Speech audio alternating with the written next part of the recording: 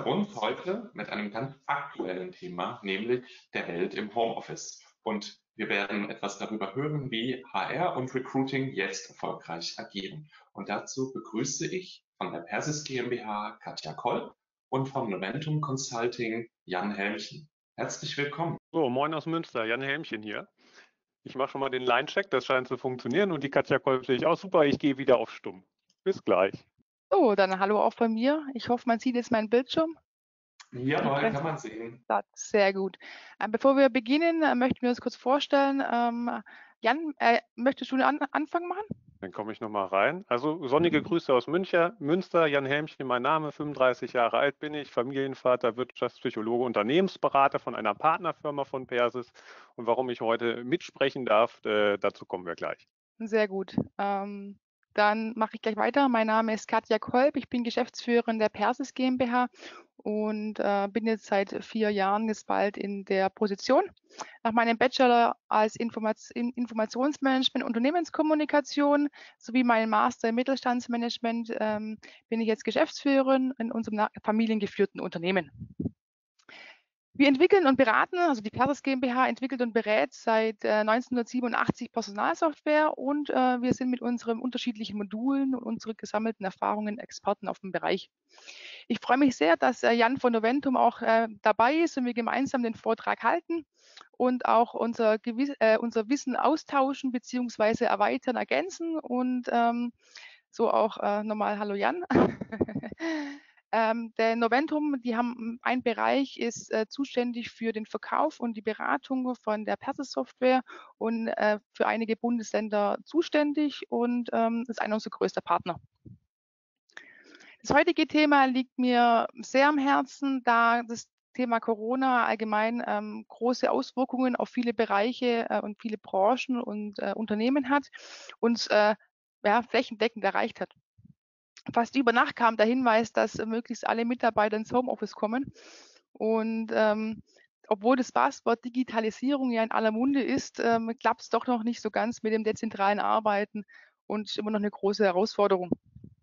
Wir möchten unsere Erfahrungen, also unsere persönlichen Erfahrungen in diesem Vortrag ähm, teilen und Tipps und Tricks für das Homeoffice-Arbeiten geben. Und daher kommen wir dann gleich zur nächsten Folie.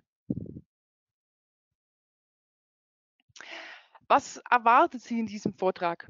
Ähm, wir haben den Bereich in, in, also den Vortrag in zwei Bereiche aufgeteilt. Nach der Einleitung spricht Jan Helmchen, der Wirtschaftspsychologe und Berater im Change Management und Wissensmanagement über die Kommunikation und das Vertrauen im Homeoffice. Also wie kann man trotz Corona, äh, trotz Homeoffice die Kommunikation zufriedenstellend gelingen?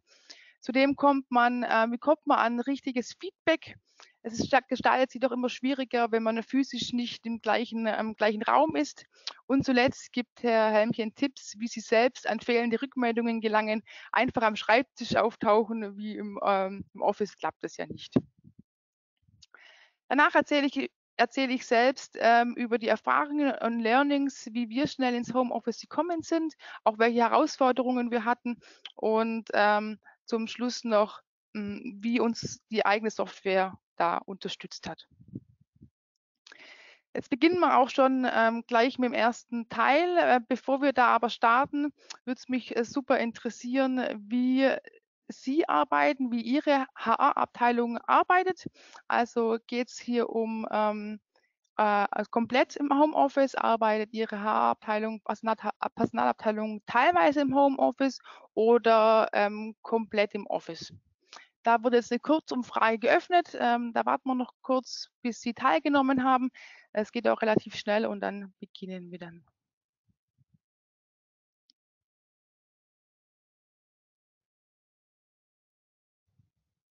Ich schaue mich kurz dazu. Es wird fleißig noch abgestimmt. Jeder, der noch keine Auswahl getroffen hat, kann das noch tun. Und dann teile ich nämlich gleich die Ergebnisse mit unseren beiden Referenten können den freien, wertvollen Sendeplatz ja schon mal mit einer Botschaft füllen. Hier, ich halte jetzt hier ein Smiley in meine Kamera. Den sehen Sie vielleicht ein grüner Smiley. Das ist ja eine andere Möglichkeit, in Webkonferenzen für Feedback zu sorgen, zum Beispiel. Wenn Sie zentral irgendwie so schöne Gimmicks bereitstellen, für hier so Plus, Minus oder I can't get no Interaction oder irgendwas. Kleine, hilfreiche Sachen. Das habe ich jetzt mal genutzt als Überbrückungszeit, weil wir ja gerade einen Feedback-Prozess gestartet haben. Auch so ein visuelles Feedback ist ja ein Feedback. Da ist das Ergebnis. Genau. Also, ich, ich, ich lese es gerne vor, falls Sie das nicht lesen können. Also 35 Prozent der Teilnehmer arbeiten komplett im Homeoffice. 56 Prozent teilweise und nur 9 Prozent arbeiten nicht im Homeoffice. Mhm. Sind doch sehr unterschiedlich, aber doch einige arbeiten komplett im Homeoffice, was ja auch dann zu vielen Herausforderungen wieder führt. Ähm, lassen Sie sich inspirieren und ich freue mich, äh, jetzt an den Berater äh, und Kommunikationsexperte Jan Helmchen zu übergeben. Ja, das hört sich blumig an. Vielleicht kannst du mir einmal die Folie schon weiterklicken. Ich glaube, in Kürze kann ich das selber per Maus. Ja, da bin ich schon wieder mit der Maus. Ich klicke fleißig. Ich will kurz was zu unserer Firma erzählen. Genau, das geht nämlich schon mal mit dieser Folie und gleich kann ich sicherlich selber weiterschalten. Ja, äh, sonnige Grüße aus Münster. Ähm, Noventum IT Management Consulting. Wenn Sie dieser Firma begegnen, zum Beispiel auf der Zukunft Personal in Köln oder bei der Talent Pro, wenn sie in München tatsächlich äh, örtlich stattfindet, dann findet der Personaler bei uns eigentlich unter diesem großen Dach einer Firma äh, viele kleine Abteilungen und für den HR-Menschen sind vor allem äh, wahrscheinlich die interessant. HR Management, wie gesagt, großer Persis-Partner im äh, Norden und Westen von Deutschland. Das heißt hier halt nicht nur Persis bei uns die Abteilung, sondern HR-Management. Es geht ja darum, wirklich Lösungen zu bauen. Das heißt, wir haben da nicht nur digitale Experten bei uns, sondern auch sehr erfahrene äh, Personalmanager, die dabei mitgestalten, Personalprozesse so aufzustellen, dass sie zum Beispiel bei der nächsten Corona-Krise auch gut von zu Hause funktionieren. Ähm, was anderes Großes ist äh, Business Intelligence. Dahinter versteckt sich HR-Controlling, also zum Beispiel ein tolles Tool, um äh, Dinge auszuwerten, wurde hier mit dem DM-Konzern gemeinsam gebaut. Das sind andere Kollegen da. Und weil es vorher gerade um Daten ging, wir sind hier so, äh, wir machen immer gerne bunte Postkarten. Ich zeige dir mal sowas. Äh, das ist das eben von HR Analytics, Hakuna Madata, ich sehe tote Daten. Also bei, der, äh, bei anderen Messen treten wir häufig gemeinsam auf mit verschiedenen Menschen und Beratern aus den Abteilungen. Und da wird so ein bisschen deutlich, was so die Themenfelder sind. Also das wäre jetzt hier HR Controlling. Ganz wichtig für die Controller ist die Zuarbeit eben auch mit, der, mit dem Datensätzen aus der Persis-Software. Ähm, also Sie sehen viele Themen, was vielleicht gerade auch viele bewegt, ist dieser Umgang mit Kollaborationstools, Microsoft 365 Einführung, das ist bei uns ähm, unter diesem Begriff IT-Technologieberatung, Strategie und so weiter. Äh, die Besonderheit bei dieser Firma, die Inhaber geführt seit 25 Jahren existiert, mit einem sehr charismatischen Geschäftsführer. Ich darf Sie herzlich grüßen von Uwe Rotermund. Ähm, hier heißt es immer Menschenprojekte Qualität. Das heißt, die Überschrift ist Digitales, aber der Mensch steht voran. Und ähm, ja, dreimal in Folge hat Noventum, ähm, wurde Sieger, wurde prämiert im größten Arbeitgeberwettbewerb Deutschlands, Great Place to Work Sieger. Und ähm, spätestens seitdem gibt es auch so eine eigene Beratungsabteilung Culture Change Management. Dort bin ich halt selber Mitarbeiter und wir begleiten jetzt auch andere Organisationen dabei. Wir sagen immer, attraktiv und erfolgreich zu werden. Ne? Als Psychologe, Organisationsentwicklung, Führungskräfteentwicklung. Das sind so die Themenfelder. Und äh, deshalb kam Katja auf mich zu und äh, sagte, hier Jan, können wir das gemeinsam machen? Letztlich habe ich drei spannende Fragen und bin total daran interessiert, wie ihr da eigentlich darauf antworten würdet, als Menschen, die ja so ein bisschen von sich sagen, eure Mission ist, ne, nicht wie Michael Jackson, Heal the World, aber wir sagen Heal the Work und äh, einfach die Arbeit ein bisschen, bisschen schöner zu gestalten. Und ähm, die drei Aspekte, die, naja, die gefragt wurden und zu denen ich jetzt kurze, wirklich ganz kurze Anregungen geben möchte, ähm, sind eben die hier. Ähm, Kommunikation, Vertrauen, Feedback. So, und da gibt es ganz kurze Anregungen zu und ich hoffe darauf, dass es davon da etwas dabei ist to go, was ihr auch mal direkt ausprobieren könnt. So, wir starten mit der Kommunikation. Die äh, Stones haben ja gesagt oder besungen, I can't get no satisfaction. Und im Moment äh, habe ich gehört von äh, der äh, Katja Golb, äh, der Personaler leidet gerade unter, mir fehlt die Interaktion damit ich meine Arbeit machen kann, da brauche ich Rückmeldungen von anderen Menschen und das fehlt gerade. Und ich will ein paar Ideen mitgeben, was man dafür tun kann, damit es ein bisschen leichter läuft. Weil auch ich kenne das. Ich bin im Moment viel im Austausch mit unserem Marketing. Äh, manche sind in Kurzarbeit. Äh, es ist nicht so einfach, die Menschen dazu zu motivieren, mir Rückmeldungen zu geben. Ne? Also verteilt, nicht mehr so viel zu, äh, zugange. Ach ja, noch eine weitere Aufgabe hier mit Familienbetreuung oder Kinderbetreuung. Ja, also es ist wahrscheinlich verständlich, dass es nicht so viele Rückmeldungen oder so schnell gibt wie bisher. Und äh, dennoch einige Ideen dazu. Äh, als Piktogramm für Kommunikation habe ich ja hier diesen Sender eigentlich gemacht, mit dieser Flüstertüte. Ähm, ich beginne mal damit, eigentlich noch ganz äh, richtiger und wichtiger wäre vielleicht einfach das Ohr zu nutzen als Symbol für Kommunikation, denn das gehört ja dazu. Ich gehe davon aus, hier sind viele Gestalter dabei, die haben irgendwie ein eigenes Team, wo sie Dinge gestalten können. Äh, geben Sie doch mal Acht drauf auf, auf gutes Zuhören. Und da beides im Moment ja äh, vermeintlich zu kurz kommt, fand ich, habe ich mir abgeguckt in einem anderen Vortrag, fand ich sehr plausibel. Dort eine Führungskraft, die gesagt hat, ähm, ich versuche regelmäßig, einmal die Woche, einmal im Monat, wie auch immer, mit jedem aus meinem Team eins zu eins zu kommunizieren. Das heißt, ein eins zu eins Gespräch zu führen. Und die Person hat noch gesagt, und was außerdem im Moment zu kurz kommt im Homeoffice, ist Bewegung und ich kombiniere das beides. Ich hole mir ein gutes Headset mit äh, Noise Cancelling im Mikrofon und dann äh, mache ich einen langen Spaziergang. Ich nehme mir ein Ziel vor zum Spazierengehen und mache dort eins zu eins Calls mit meinen Teammitgliedern. So, da verbindet er zwei wichtige Sachen und das ist vielleicht schon mal eine Anregung für Sie. Ansonsten ganz allgemein zur Kommunikation kommt aus dem Lateinischen, sich gemeinsam machen. Sie kennen das vielleicht von Smalltalk, man redet über das Wetter und im Moment können Sie noch viel intensiver einsteigen, weil äh, eine Situation, die gerade viele bewegt ist, wie gehst du um mit Corona? Wie ist bei dir die Gestaltung im Homeoffice? Deswegen sind Sie plötzlich ganz natürlich in ähm, ja, durchaus sehr, sehr privaten Themen unterwegs mit Ihren Kollegen, was vorher gar nicht so einfach möglich äh, war. Das heißt, Kommunikation dient diesem sozialen Zweck, sich gemeinsam machen und Sie können im Moment auch sehr, also völlig natürlich über sehr intime äh, Themen letztlich sprechen. Ähm, Kommunikation dient dazu, ne? das ist dieses soziale Grundbedürfnis nach Wertschätzung. Probieren Sie es mal aus von der Beziehungs- zur Sachebene. Als äh, Personalreferent brauchen Sie Sachinformationen, um voranarbeiten zu können. Versuchen Sie dennoch vielleicht mal mit der Beziehungsebene zu starten. Ähm, dieses Bild hilft mir besonders im Umgang Menschen untereinander, da ich halt selber Familienvater bin, ist man immer unterwegs äh, auf äh, Augenhöhe mit, als Erwachsene miteinander oder äh, driftet man auch mal ab, dass man so ein bisschen so wie, wie lehrerhaft belehrend der, ähm, der, das Eltern-Ich mit einem Kind-Ich kommuniziert. Versuchen Sie sich immer auf Augenhöhe zu begegnen. Und ähm, das finden Sie in jedem Kommunikationsgrundlagenseminar. Ich-Botschaften senden. Ich-Botschaften sind immer richtig. Der Konstruktivist würde sagen, ähm, du bist richtig, ich aber auch. So. Und äh, wenn man mit dieser Grundeinstellung reingeht, also andere Weltbilder sind in Ordnung, wir gleichen einander ab, wir legen die übereinander und gucken, wie es zusammenpasst, dann geht es gut voran. Und ein ganz konkreter Tipp noch, den man immer mitnehmen kann für Kommunikation, bei uns steht es im Noventum Unternehmensleitbild, ähm, das sind so ähm, Regeln aus dem Improvisationstheater. Zwei Menschen begegnen sich, kriegen Begriffe an den Kopf geworfen und sollen dazu eine tolle Szene kreieren. Und dann müssen sie toll gemeinsam arbeiten, retten ist Pflicht, sag ja, mache den anderen groß, gib Impulse verantwortungsvoll oder vertraue dir dem Kollegen den Moment. Also schön und gut gemeinsam arbeiten. Das war der Aspekt Kommunikation.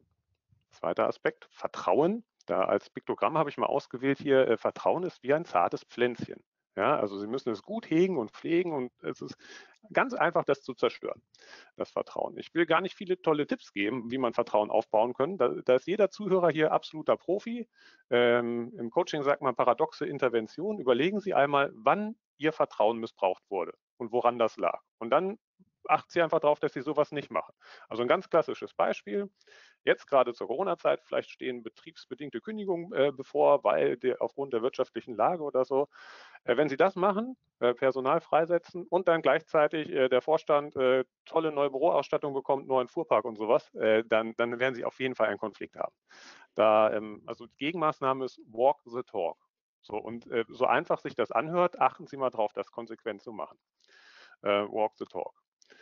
Ähm, anderes Beispiel, also positives Beispiel dafür, ähm, ein bisschen hatte ich es gerade schon, vielleicht sind Sie ja auch häufig in Webkonferenzen und plötzlich sind Sie im Wohnzimmer oder so bei Kollegen. Ne? Also Sie sind intimer, als Sie es jemals zuvor war und vielleicht bemerken Sie es bei sich selber. Das führt auch bei Ihnen selber dazu, dass Sie irgendwie ähm, mehr bereit sind, sich zu öffnen. Also da gibt jemand etwas, es ist Geben und Nehmen. Es gibt jemand etwas, Sie bekommen etwas. Versuchen Sie das etwa einmal äh, auszuprobieren. Ne? Unter diesem Stichwort Vertrauen, dass Sie Vertrauen entgegenbringen, dann bekommen Sie das auch zurück. So, und auf der nächsten Folie, da will ich vor allem Werbung machen für Vertrauen. Warum ist Vertrauen so ein tolles Thema? Sie kennen es vielleicht. Vertrauen ist gut, Kontrolle ist besser. Wissenschaftlich belegt ist das hier. Vertrauen führt zu mehr Offenheit. Und wir formulieren es immer so, ähm, Offenheit, Transparenz könnte man auch sagen. Transparenz ist die neue Form der Kontrolle. Wir nutzen immer ein Bild. Die alte Welt ist für uns diese Hierarchiepyramide. Da gibt es ganz klare Meldewege von oben nach unten und zurück. Alles, jeder Prozess ist klar definiert. Das funktioniert auch gut, wenn alles so in kontrollierten Rahmenbedingungen Bedingungen stattfindet. So, dann kommt sowas wie Corona, dann haben Sie sowas ähm, ja, äh, Komplexes wie Menschen. Menschen können Sie nicht so gut äh, vorausplanen, wie Menschen reagieren oder Kreativprozesse, das ist häufig so etwas. Da hinkt sowas, da ist das einfach am Ende viel zu langsam, diese langen Meldewege. Und das Gegenmodell, von dem wir sprechen, das haben wir ein bisschen bei Nils Pfleging abgeschaut, ist ähm, ein Pfirsich. Ein Pfirsich hat einen harten Kern und drumherum so weiche Strukturen, dynamische Strukturen, Fruchtfleisch, da finden hier kundennahe Sachen statt und so weiter. Und Orientierung gibt der harte Kern. Das heißt, hier, das muss völlig transparent sein. Was sind die Unternehmenswerte? Was sind die Unternehmensziele? Wo wollen wir gemeinsam hin? Und daran kann sich jeder gemeinsam orientieren. Das Bild für die Führungskraft dafür wäre vielleicht sowas. Ne? Irgendwie auf Augenhöhe mit den anderen, aber dann doch aus der Mitte heraus für Orientierung sorgen. Äh, Vertrauen, bedeutet Offenheit erzeugen. Ähm, Beispiele bei uns in der Firma für Offenheit, offene Terminkalender. Im Moment wöchentlich äh, oder zweiwöchentlich Corona-Sondermitarbeiterversammlung Sitzung. Freitags virtuell mit heißem Stuhl an den Geschäftsführer. Anonym kann ich auch unangenehme Fragen stellen. Das wird auch genutzt. Ähm, ja, transparente Businesspläne und Zahlen. Also wir wissen auch von den anderen äh, Abteilungen bei uns, äh, wie sieht es gerade bei denen wirtschaftlich aus. Also völlige Transparenz als Idee, dass man damit es schafft, auch seine eigene Organisation zu steuern. Äh, Noventum hat 120 Mitarbeitende. Das habe ich am Anfang nicht erzählt. So, letzter Aspekt, den ich Ihnen mitgeben möchte. Feedback is a dancer. Also äh, Snap hat ja gesungen, Rhythm is a dancer.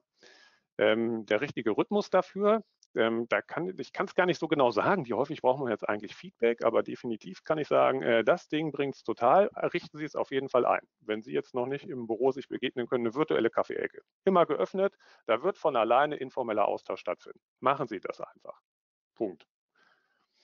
Ähm, ja, die Kraft des Kalendertermins. Mein Soziologieprofessor im Erststudium hat gesagt, nichts passiert, außer man tut was. Äh, da ging es um Umgestaltung von Organigrammen, aber auch um einfach einen Kalendertermin zu machen. Machen Sie das mal.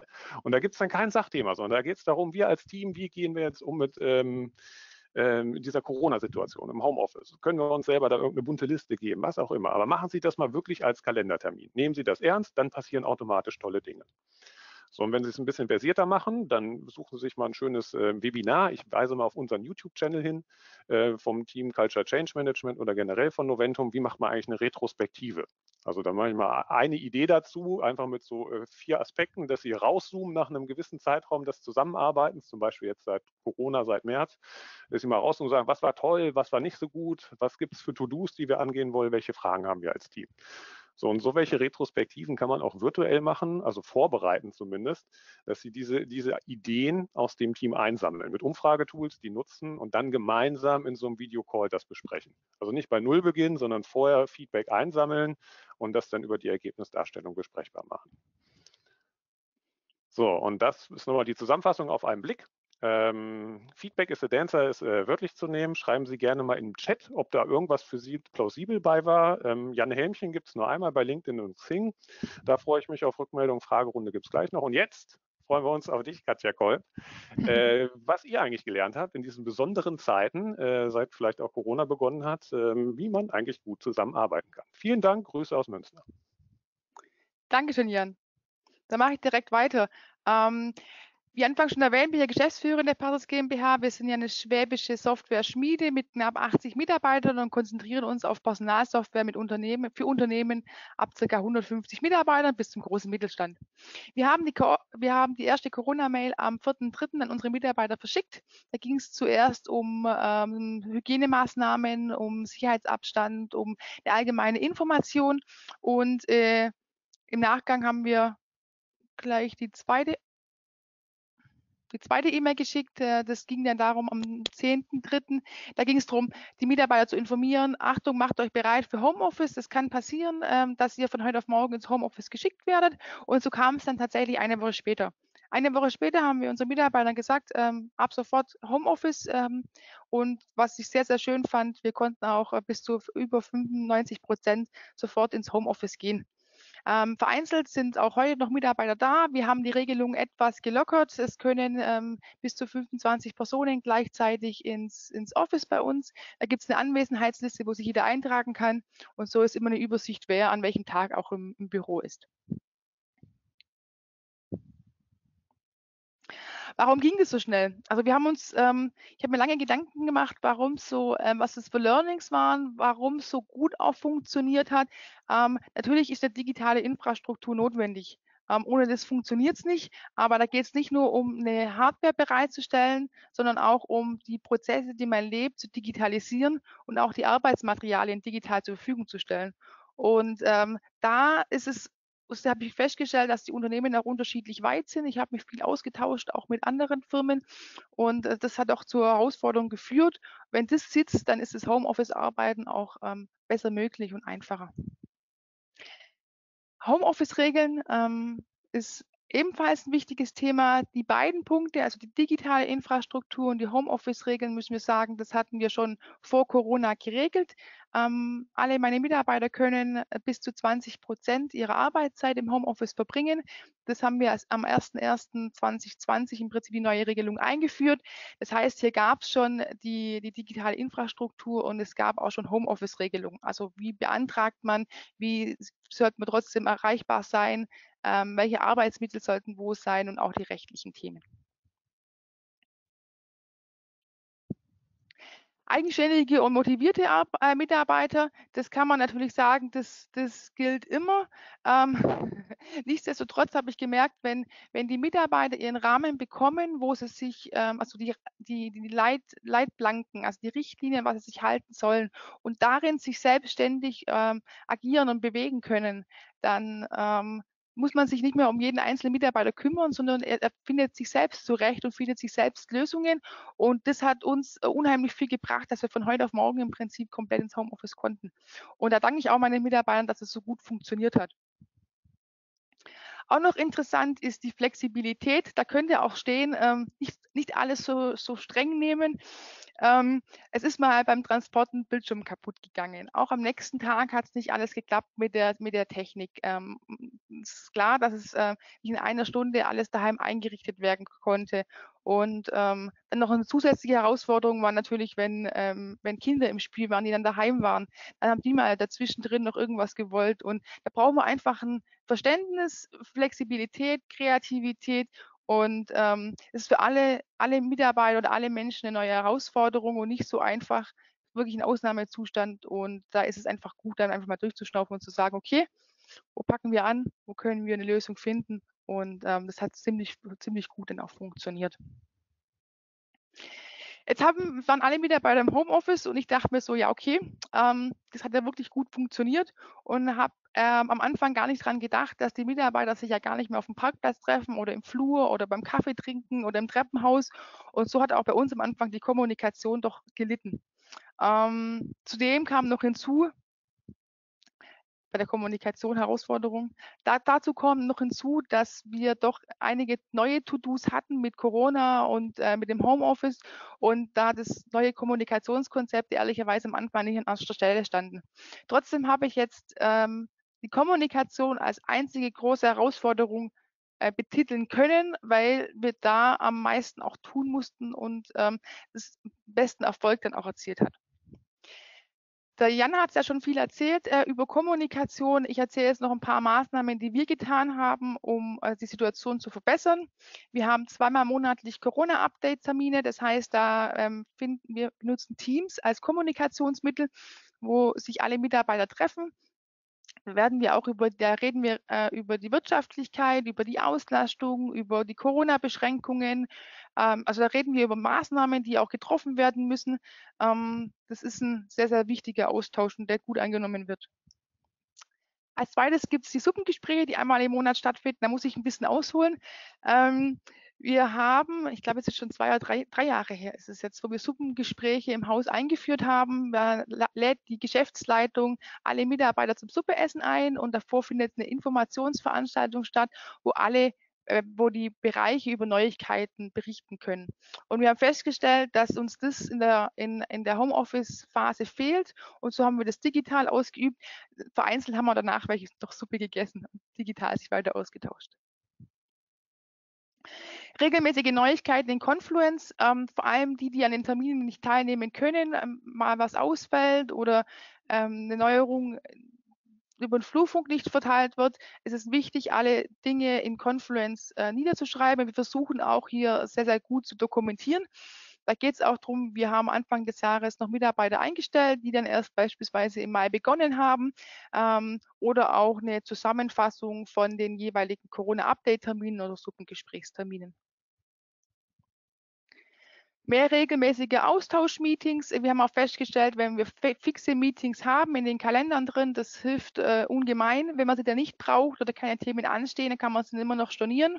Aber sobald keine fixe Termine im Kalender stehen, nimmt man den Austausch auch nicht so ähm, rigoros oder konsequent wahr, wie, äh, wie es tatsächlich drin steht. Was ich super interessant finde, ähm, viele Mitarbeiter hatten hier auch Ideen und haben diese selbstständig umgesetzt. Ähm, da geht es um Blog-Einträge wie beispielsweise Tipps und Tricks im Homeoffice. Ähm, da gab es einen Blog-Eintrag zu, wie kann man fit im Homeoffice sein. Dann auch ähm, Einblick in mein Homeoffice mit Bildern und Berichte und ein Tastenkürzel Info-Statement über Teams.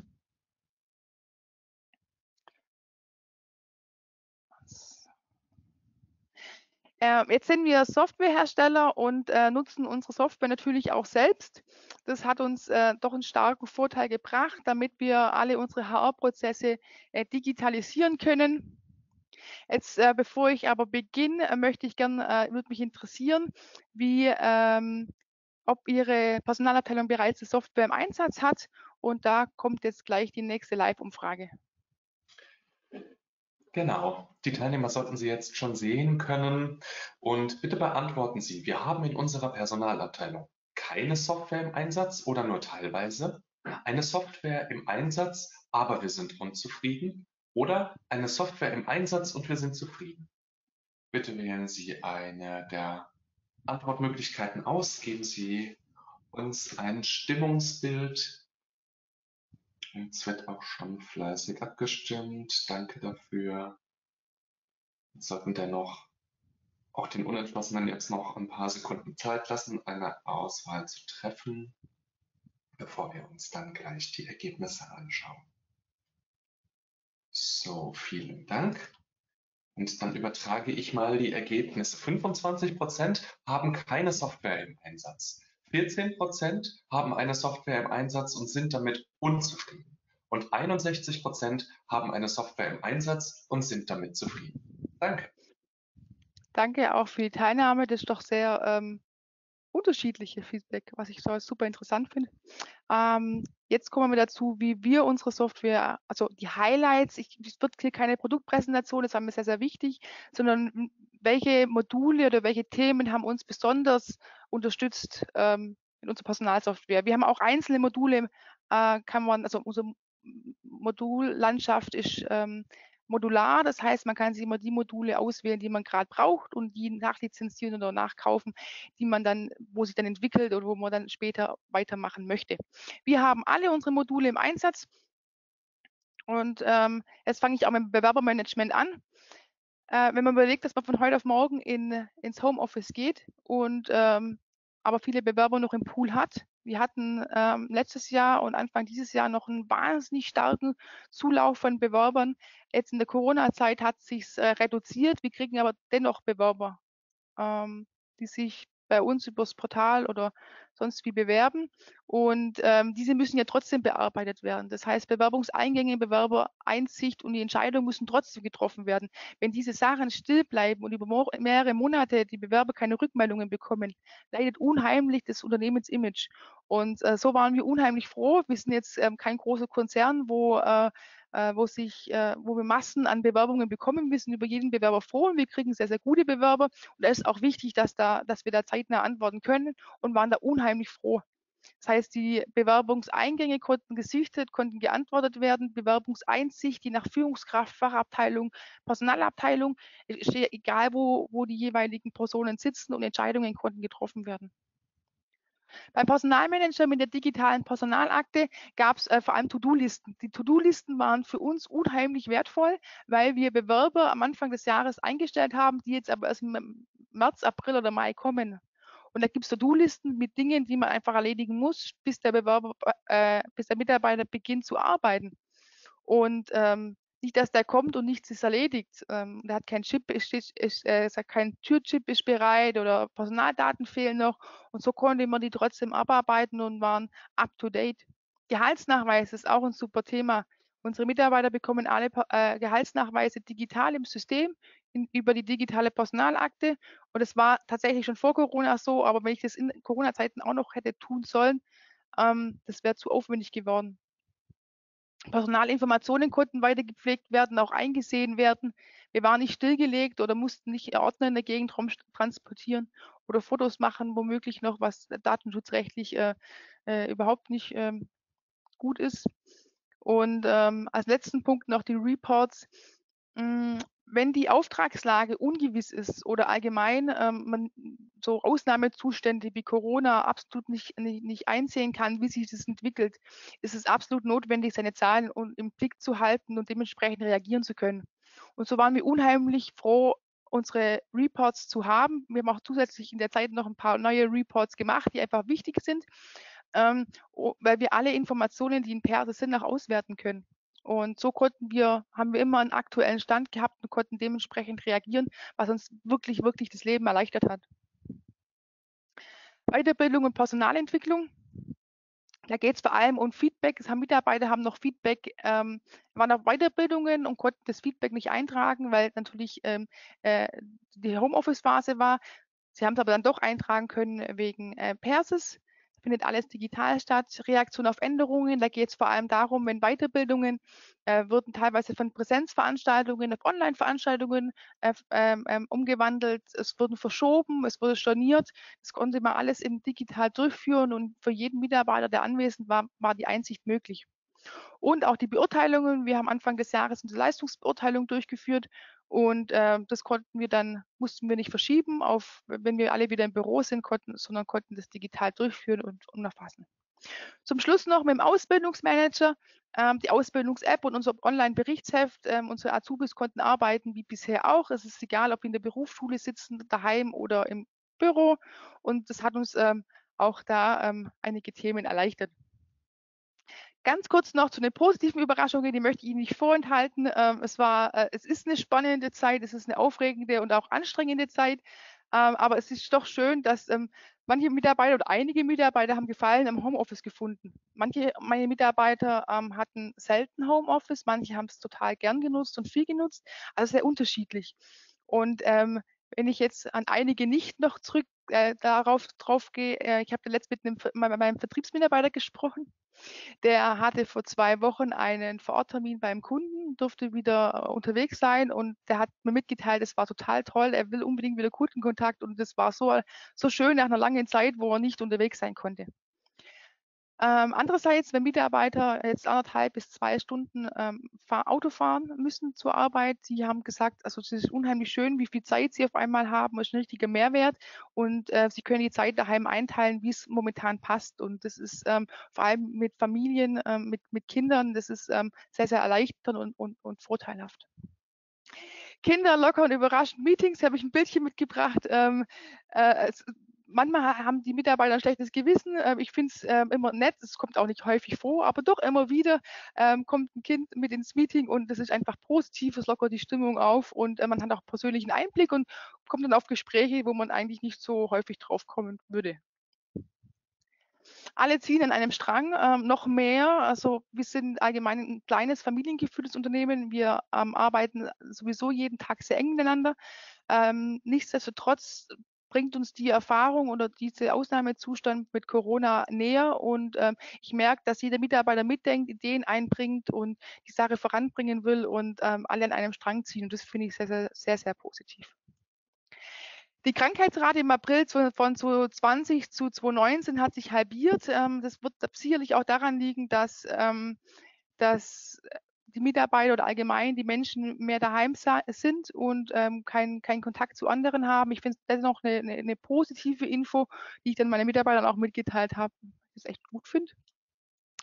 Ein Punkt, ähm, Mitarbeiter vermissen ihre Arbeitsplätze im Büro. Wir haben äh, für die Mitarbeiter höhenverstellbare äh, äh, Tische und ähm, ich finde es schön und ich, mir ging das selbst auch so, dass ähm, ich zu schätzen gelernt habe, wie schön unser Arbeitsplatz ist. Und daheim kriegt man dann noch Rückenprobleme oder es ist sehr dunkel oder noch andere Themen. Und ähm, das ist wirklich ähm, eine positive Überraschung.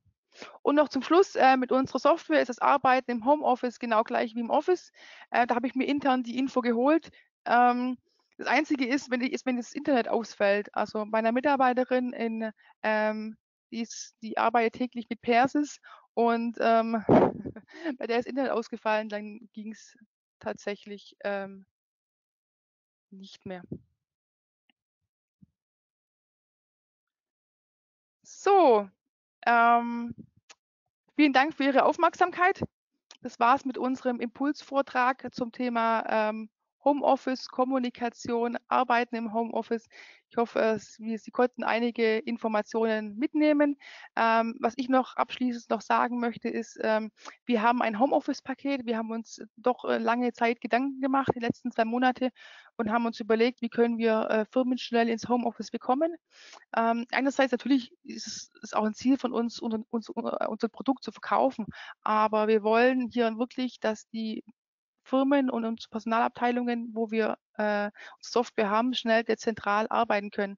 Und so haben wir ein, ein Dienstleistungspaket geschnürt, mit dem Sie schlank, effektiv und ähm, schnell die Software einsetzen können. Das gibt es vor allem im Bewerbermanagement, Personalmanager und digitale Personalakte. Sie haben, das besteht echt ein Fixkostenpreis. Ähm, das heißt, das, das, das ist kein IT-Projekt, wo, wo irgendwas sprengt, sondern Sie bekommen ein schlankes Paket, wo Sie direkt einsetzen können, wo Sie direkt einen Mehrwert von haben. Und wenn Sie später noch irgendwelche Dinge verändern möchten, noch erweitern möchten, ist es jederzeit möglich. Ich meine auch, dass äh, der, der, Flyer zum Homeoffice-Paket ähm, wird mit der Präsentation zum Download zur Verfügung gestellt. Sonst können Sie sich jederzeit auch sonst im Nachgang an uns wenden. Dankeschön. Wunderbar. Vielen Dank. Ja, wir haben noch ein paar Minuten Zeit. Ähm, wer noch etwas wissen will, bitte gebt die Fragen einfach in den Chat ein. Und ähm, in der Zwischenzeit würde ich gerne wissen, ähm, wie kann man denn aktuell jetzt in den Zeiten von Homeoffice und Kurzarbeit im Blick behalten, wie die Stimmung im Team ist? Also äh, Katja, ich könnte mal darauf reagieren. Äh, Sebastian, du hörst mich? Ja. Ja, super. Ähm, ich habe es kurz angedeutet, äh, vorhin äh, irgendwelche Tools nutzen. Also es gibt ja mittlerweile immer mehr Sachen, wo man irgendwie Meinungen einfangen kann. Wir nutzen halt viel in der Microsoft-Umgebung, so eine Formsumfrage zu bauen. Da geht mir das Herz natürlich auf als Psychologe. Man lernt ja das ganze Studium tolle Umfragen zu bauen. Und dann hat man jetzt ein ganz einfaches Tool an der Hand. Also wenn Sie irgendwie Microsoft-Pakete haben bei sich in der Firma, dann können Sie dieses Tool Forms-Umfragen nutzen. Sonst nutzen Sie irgendwas anderes. Es gibt ja viele Möglichkeiten. Äh, Pulscheck klassisch sind ja drei kurze Fragen im regelmäßigen Abstand, gerne unternehmensweit, einfach nur drei ganz kurze Fragen. Äh, wie war die Stimmung im letzten Monat? Wenn Sie es fürs eigene Team machen, dann passen Sie es gerne an, ne? an, die, an die Gegebenheiten im Team und fragen konkrete Dinge ab, die jetzt besonders eben äh, anstanden. Also zum Beispiel wünscht ihr euch hier äh, Stand-up-Arbeiten zu Hause. Ich habe improvisiert bei mir. Ne? Ich stehe gerade, aber es ist echt ziemlich viel Bastelarbeit hier. Behind the scenes, das ist jetzt ziemlich bunt und spannend bei mir. Ja, ähm, also irgendwie diese Themen abfragen im Team und dann gemeinsam besprechen. So, das, ja, dann, also eigentlich ist ja im Moment der, der Drang da, mehr mit digitalen Tools auch zu arbeiten. Dann diese Möglichkeiten auch ausnutzen. Mhm. Und ähm, Sie hatten ja jetzt vorhin auch schon angedeutet mit ähm, Angeboten wie digitale Suppenküche und digitale Kaffeeküche vielleicht. Ähm, war denn das ähm, wirklich ein Angebot, das ähm, vermehrt genutzt wurde und hat das auch wirklich ähm, also konnte man da den Effekt dann auch, auch im Nachhinein sehen? Also was ich jetzt gut finde, also ich, ich, ich, ich fange einfach mal an, Jan. Ähm, ich halte viel davon, einfach Mitarbeiter auch zu fragen im Nachgang. Also ich frage die, wie fandet ihr es, wie ist die Stimmung, ähm, wie geht's euch? Die Zeit muss man sich auch nehmen, auch wenn man ähm, gern mal aufs Thema oder auf eine Antwort raus will. Äh, es ist erstmal wichtig, auch auf persönlicher Ebene die Mitarbeiter abzuholen.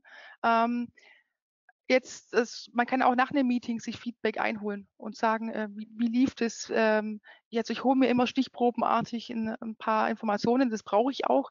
Ähm, es, man bekommt aber auch, und das finde ich schön, ähm, nach einem nach einem ähm, Meeting kommt auch manchmal Smiley, so schönes Wochenende. Und dann, wenn einer anfängt, dann, dann, dann trudelt es eigentlich immer so weiter runter und das ist auch immer schön zu sehen. Aber persönliches Feedback halte ich immer noch relativ auch viel. Auch Umfrage, das ist super, äh, vor allem die Masse zu erreichen. Ähm, äh, ich finde es begleitend gut noch, wenn man ähm, persönliches Feedback einholt.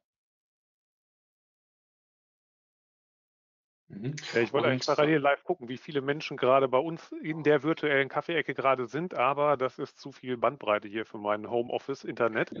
ähm, unabhängig davon, was noch für Fragen kommen. Ich will eine Sache noch untermauern von dem ganzen Papalapap, was ich vorhin mit den bunten Postkarten gemacht habe. Ne? Sie können gerade auch von zu Hause für Nähe sorgen. Und einen Move mache ich mal, der kam bisher zumindest immer gut an. Ich lasse sie jetzt mal wirklich rein bei mir zu Hause und zeige Ihnen ein bisschen das Drumherum. Wenn es gut läuft, kommt Frau und Kind jetzt nicht reingestürmt. Ähm, ich bin jetzt hinter dieser äh, grünen Wand, die übrigens 19 Euro kostet und vier Löcher in der Decke beinhaltet. Sie sehen jetzt, jetzt sind wir hier im Arbeitszimmer bei mir in Münster, Schrägstrich Ankleidezimmer meiner Frau, Schrägstrich bei Babyzimmer. Das können Sie jetzt nicht sehen hier links neben mir. Aber das macht halt ja gleich ganz was ganz anderes. Wenn ich jetzt sage, ich bin Jan Helmchen aus Münster, nehmen Sie gerne Verbindung mit mir auf. Äh, vielleicht finden wir irgendwie gemeinsam eine Möglichkeit, ins Arbeiten zu kommen.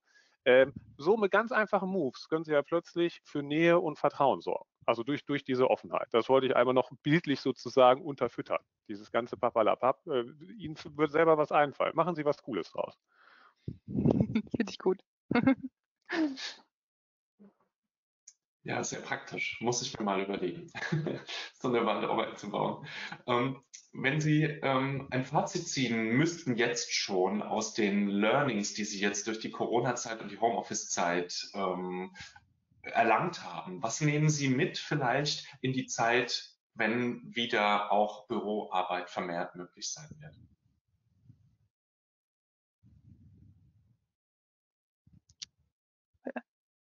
Ich kann auch beginnen. Dann kann Katja noch kurz drüber nachdenken.